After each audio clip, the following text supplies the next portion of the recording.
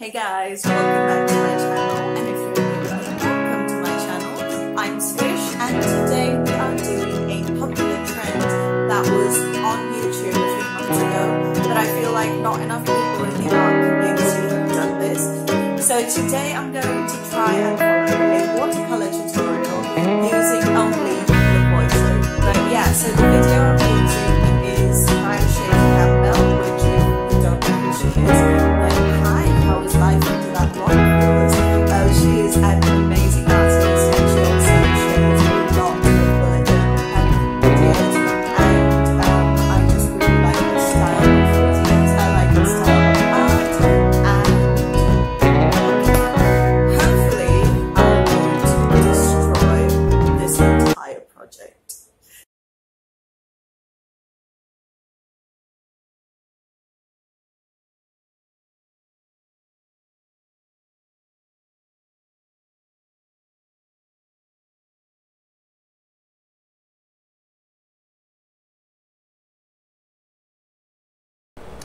Okay, so it's a thousand degrees outside, and I've had to put my hair up because I can't have the fan on, or you won't be able to hear me at all. So, um, yeah, let I've got the audio ready to play, so let's just jump in. Welcome back. My name's Shayda Campbell, and in today's video, we're going to illustrate and paint this watercolor fox in a floral spring wreath. So let's get started. Okay, so we're doing a fox in a wreath. Um, I don't do animals. If you're familiar with any of my art, I just animals is never a thing that I've been into. It takes a certain kind of skill and a certain kind of brain, I think, to be into drawing animals, and I just don't have it. So hopefully today uh, might change my mind. But before we begin painting today, I want to talk a little bit about drawing the fox. Um, and I also want to talk about how drawing animals doesn't have to be scary. So, the first fox that I'm going to do is very sort of nondescript and cartoony. And it just starts with this rounded triangle head, two little pointy ears. You've got the snout, the beady eyes, and you can see you can play around with it there, but his face comes together and it's so simple.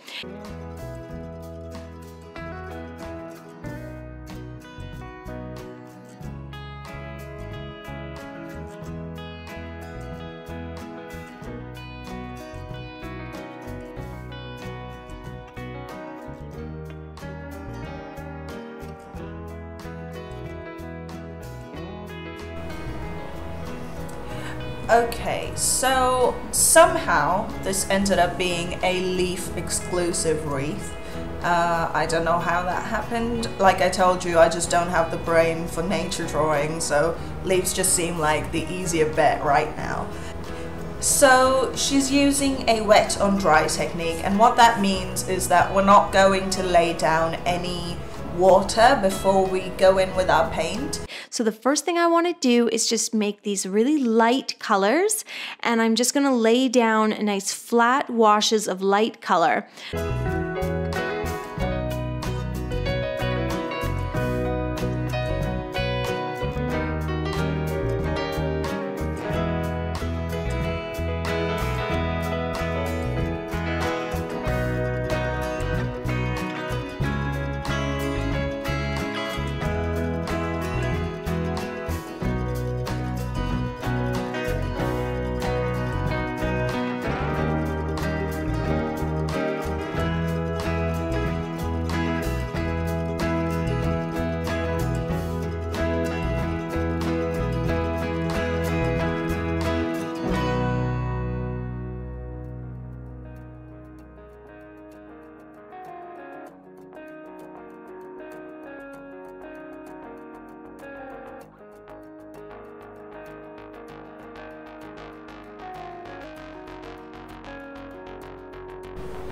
Okay, now that our underpainting is more or less dry, we're gonna start with the second layer and yeah, let's jump in. I just want to lay down a nice flat color. And then once I'm sort of happy with the way things are going and the direction I'm headed, then I'm going to go back in and add all those details. Going up the length of the wreath, I'm adding little pairs of green leaves, um, and they sort of get a little smaller as they reach the top of the wreath. And I've done a wreath where the leaves um, grow towards each other or towards the top and meet in the center. But you could have all the leaves going one direction. You could do a floral wreath, totally up to you. So that's what it looks like once I'm sort of done the underpainting. Everything's very flat, very simple. We're going to let it dry. It's a good time to wash your brushes, maybe freshen up your water. And then once your painting has dried, you can go ahead and mix up a darker green or maybe a cooler green. And we're going to start adding some detail. And it won't take very long for that first layer to dry because um, it is so light. Now I'm adding a darker green sort of to um, each side of each leaf. Okay, so as you can tell, I've pretty much covered the light green leaves with a much darker green and um, that's just because I didn't really like that light green. I feel like it doesn't go with the color story I'm trying to create. It was a bit too yellow and a bit too pale, so we've gone over it with a dark green. And then I mixed up a little bit of gray and now I'm going to go back in and add some more detail on the fox. So of course his legs are dark, um, but I also want to add some shading to his breast, his ears, um, even his tail.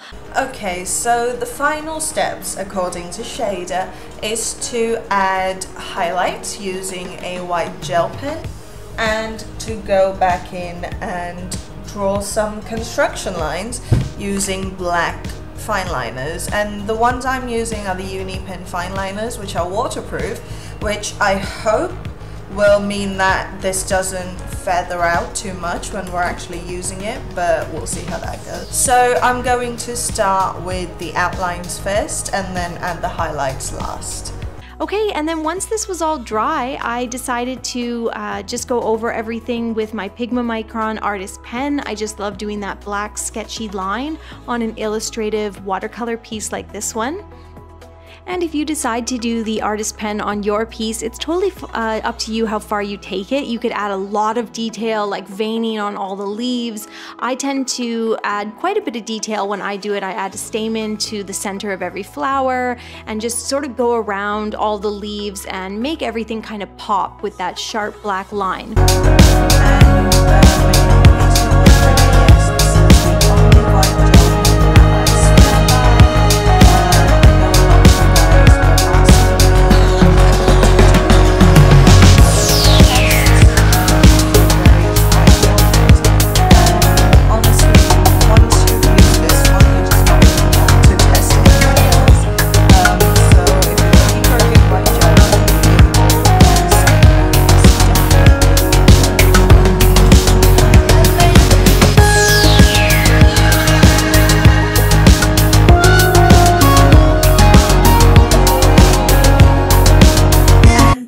Guys, that's my edition of this fox in a wreath. It looks nothing like Shayda's fox does. And honestly, my fox is kind of ugly. Like, it's the moon moon of foxes. Anyways, I hope you've enjoyed this video. I hope this little bit of humor has brightened your week. Oh, here comes my little fox. Do you want to say hi? Say hello. Say hi, YouTube. Can you say hi? Oh, he's been a little lethargic all day today. But yeah, if you like this video, remember to leave it a big thumbs up. So I know you'd like to see more of these fun, challenge, playful videos and make sure you go check out Shayda's original video, which is a lot more educational, I'm sure.